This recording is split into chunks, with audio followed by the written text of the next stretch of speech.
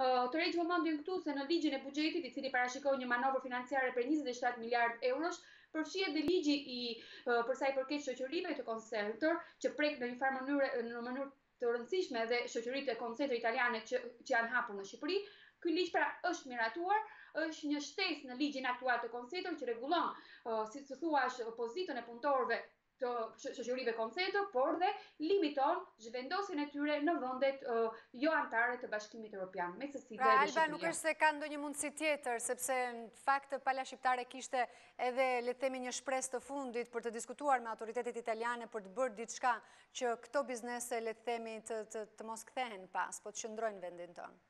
Mendoj se kjo kërkesë qe shumë e vonuar pasi ligji ishte miratuar në Dhomën e Deputetëve dhe vetë kjo krizë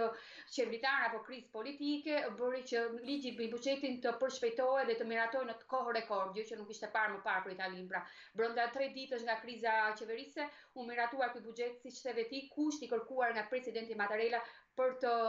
zhbllokuar situatën e dorëheqjes së Renzit.